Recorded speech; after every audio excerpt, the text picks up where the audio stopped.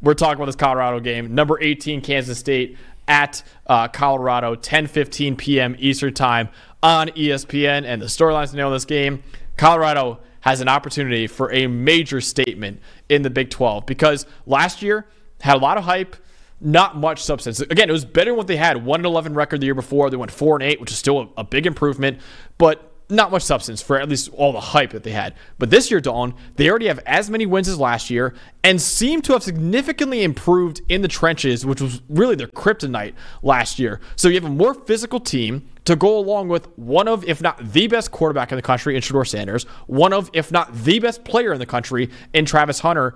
You said it, and I'm kind of agree with you. Colorado can actually compete with for a conference title and a playoff berth and what's a wide open Big 12. But this week specifically is going to really show that because they play Kansas State, who is not the highest ranked Big 12 team in the AP poll, but they are the highest ranked team in PFF's power rankings right now, which don't really uh, take into account resume. It does take into account resume, but also just how strong the team is and how well you're grading out. So uh, it's a really interesting game to show.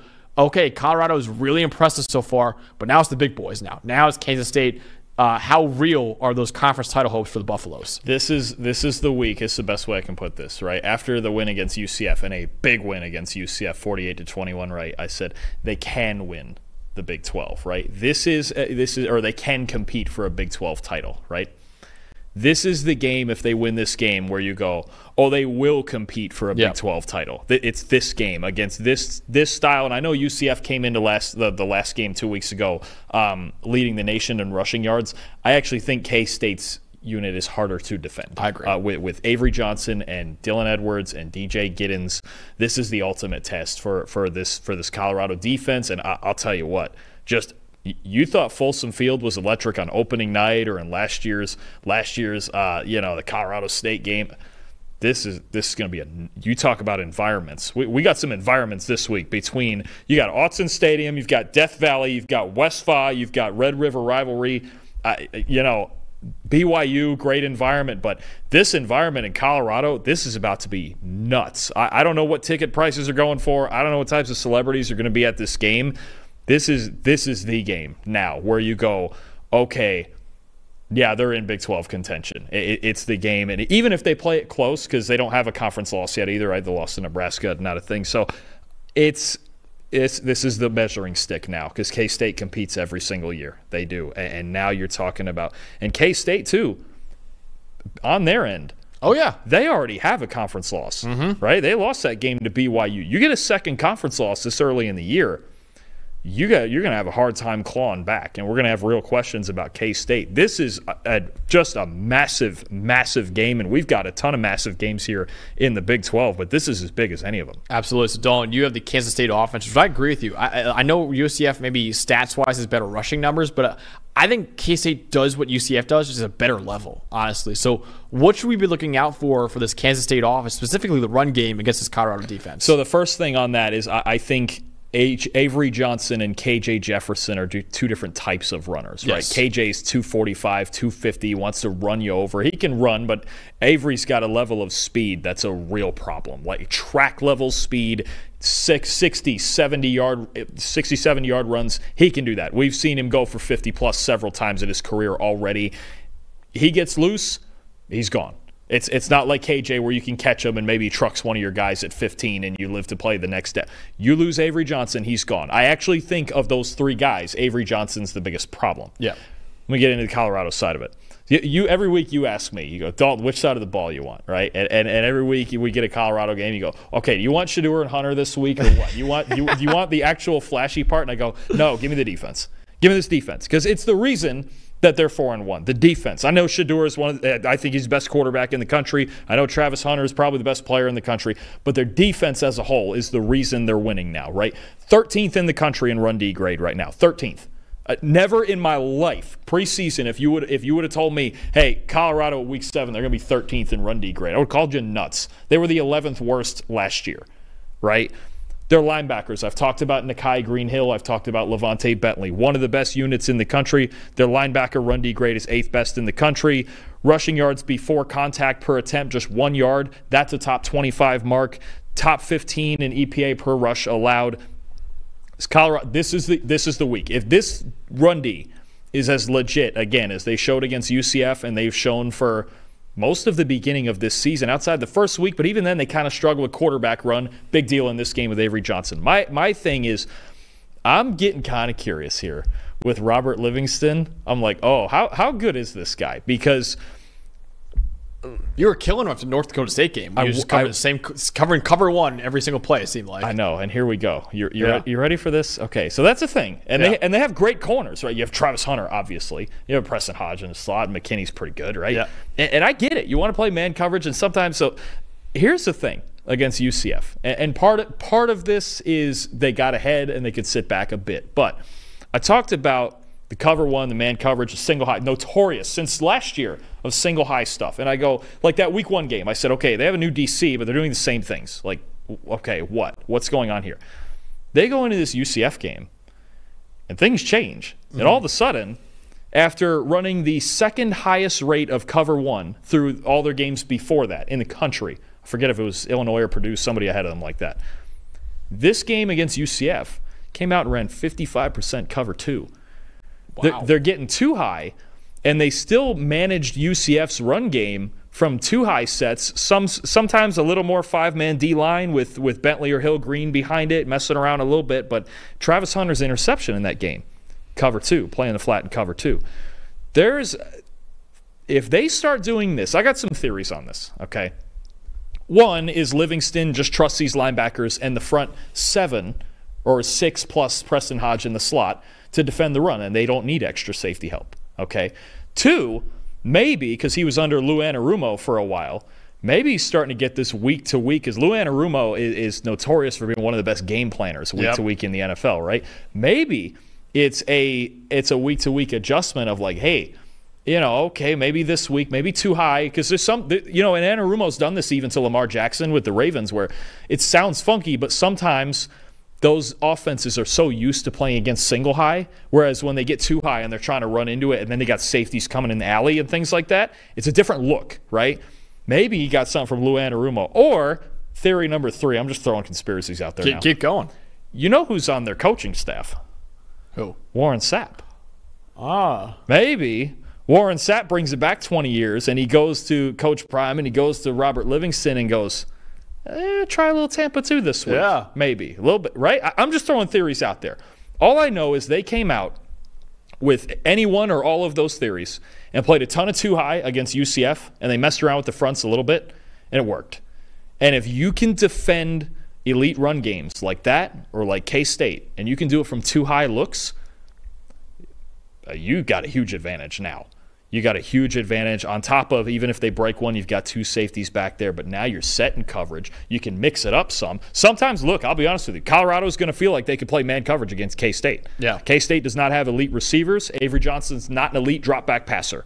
They get in obvious situations, I guarantee you, prob- you will probably see a whole lot of press man and go, and they're going to go, throw it at these guys. We dare you, right? Yep. And that's what hurt them. Even against BYU, they couldn't do it, right? K State, they don't want to drop back and fall behind in this game. But I'm now I'm curious. I'm like, oh, now I've got Robert Livingston mixing things up on the back end.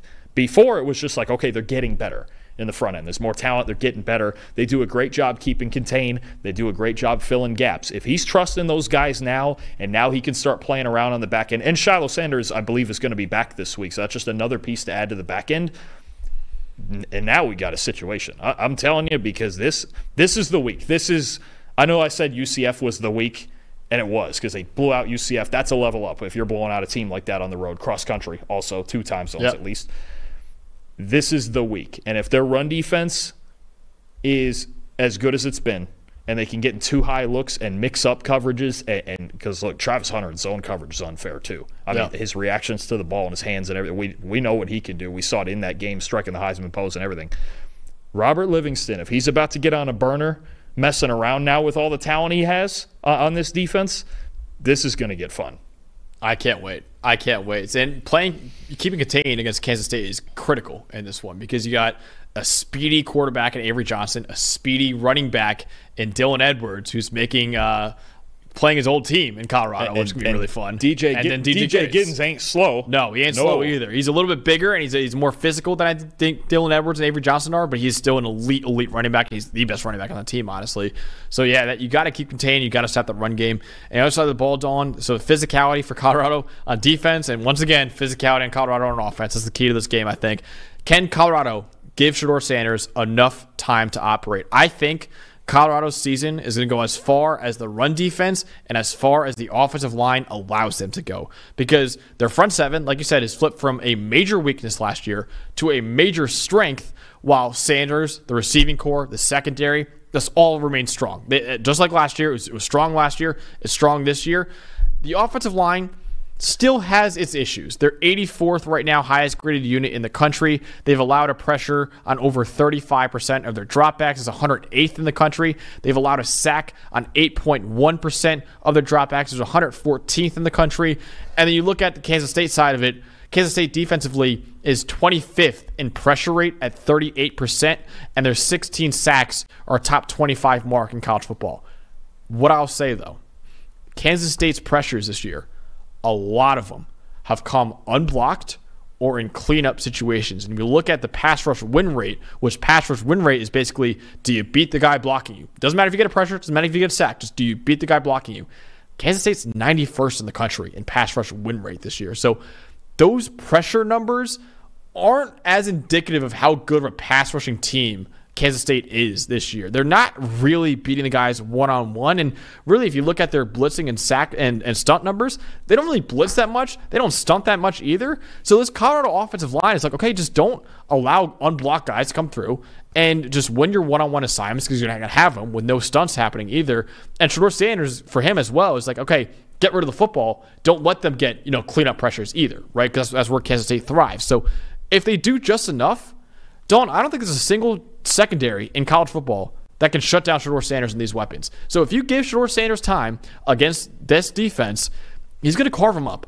I think honestly, because he's that good, and the receivers with Travis Hunter and all of them are that good as well. So really, once again, I feel like every single Colorado preview, and I hope Colorado fans don't get sick of it. We talk about the run defense, and we talk about the offensive line giving Shedeur Sanders time that really is what it is. It's just all that happen, needs to happen for Colorado to win these ball games. So I think once again, the biggest thing to watch for Colorado offensively is can this offensive line give one of, if not the best quarterback in the country, enough time to carve up the Kansas State defense? I, I think you, um, I think you mentioned something very important there, and it's something I talked about before the BYU game when we previewed K State BYU. K State doesn't, they don't blitz. They just don't. They send four and they play their coverages, and they're just gonna they're gonna let it ride. They're just gonna play their cards straight up, and and I think that's big. Now maybe this week they break the tendency, right? And, and you go, okay, they got to come out blitzing Shedeur because uh, again, I, I think he's the best quarterback in the country. I do, and I know Jalen Milroe's been great. I know Cam Ward's been great with comebacks and all, but Shedeur so clean too. He's only got two two turnover worthy plays. He, do, he doesn't turn the ball over. I think he has 15 big time throws to two turnover worthy plays. I, I think it's QB one in the draft. I would take him right this QB1. minute. Yeah, I, th- I think he's at least, at the very least, what you say. I think he's the most ready to start in the NFL Oh, right yeah. now, just the way he processes defenses. But yeah, I mean, is K State going to break the tendencies because they have a very low pass rush grade, like you mentioned, pass rush win rate. If they don't, and he just gets to stand there, well, that's your own choice. Good luck. I mean, because this is they they got weapons. It's Hunter, it's Wester, it's Horn, it's Sheppard. It's now that maybe they're starting to get the run game going. They did a little bit against UCF. Um, this is this is a task, and I think it's it's very much a choice if you're gonna just send four in some basic manner against Shedeur Sanders. Definitely. And Dalton, not only that, I mean, I said I don't think anyone, any secondary can cover Shedeur Sanderson's weapons one on one. Kansas State is 91st in coverage grade this year. So it's not even like they have an elite secondary to even bother them either. So if you give him time back there, that's how he's going to win. That's how Colorado is going to win this game. So ultimately, Dalton, will you appease our best fan base that we have and pick Colorado to win this game? Or do you think this kind of magical run for the Buffaloes ends Hey. uh, against an elite team in Hey, Kansas the, State? peop- the people, the great people in Manhattan, Kansas. That, They've been good to us, too. Rabid fan base. They've been too. good to Don't- us, don't- too. Listen, Yeah. this is a huge game both ways. And actually, one one of my one of my best friends went to picking K- our favorite child right One, one of my best friends went to K State, and he's I'm sure I'm sure he's going to get on me for this prediction. But look, Uh-oh. if if K State, let's start with K State real quick. If K State is going to win this game, what do they have to do? Just run the ball. run the ball, get ahead. Yep. There, I don't think there's a team more dependent on the game script and scoring first than K State. They they can win. They, yeah, they can go in there and win this game. The way they run the ball and the way and the way they can just bother you. Avery Johnson. Uh, Avery Johnson very well could come out first play and, and 80 yard run. He can do that, sure. But Colorado, we already talked about best quarterback in the country. I don't know if any team. I know they have the highest run D grade in the Big 12 right now. I don't know. I, they may ha- they may have the best run defense in the Big 12. We're going to find out this week. And, and, the way you beat them, like you mentioned, you have to pressure Shedeur. You have to you have to get there before he can come in and, and, and just and just shred you on and the, sack him on the too. back. Yeah, you have to. he's good under down. pressure too. I mean, he's won, and he's also you have to just keep at it because he's won games where he's been sacked like eight times. Yeah. like so. This is just those are the things Colorado needs. Those three things: quarterback, run D. We'll see about that one, and pass protection. And honestly, two of those three things look really good for them in this game. And I think one from the third one, the run defense, from what we saw against UCF, I think they can at least compete. Again, this is not about holding K State to 50 yards rushing. This is about holding them to the same roughly, what was it, 180 or 190 they held UCF to. Yeah. You hold K They killed UCF. So even more than that, you could say. you you Kansas State. I, I, going into the UCF game, I said 250. Yeah. You hold, I think K, same thing. You hold them under 250, I think you can win. You hold them to 180 again, it's a wrap. Yeah. I, I think K State is going to score some points. I do think they lean more into their identity. I think their defense is better than UCF's. I've got Colorado 35-28. I think I think this home environment, I think Shedeur Sanders and K State's lack of a pass rush.